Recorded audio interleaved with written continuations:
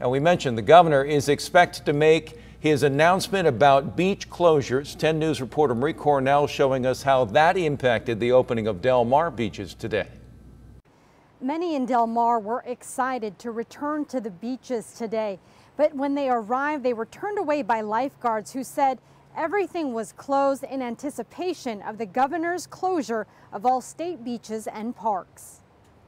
Our 10 News camera was there as lifeguard stations were being moved off the beach.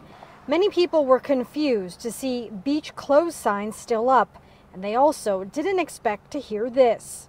A lifeguard came up to us and told us that the beaches were closed, and we were like, we thought they were open. They were supposed to open on Thursday. Del Mar officials decided not to reopen after hearing the governor wanted to close all state beaches effective May 1st. Our affiliate in LA got this memo from the California Police Chiefs Association, citing the decision in light of the crowds that packed the beaches, especially in Orange County, where many were seen violating public safety orders. It's kind of ridiculous.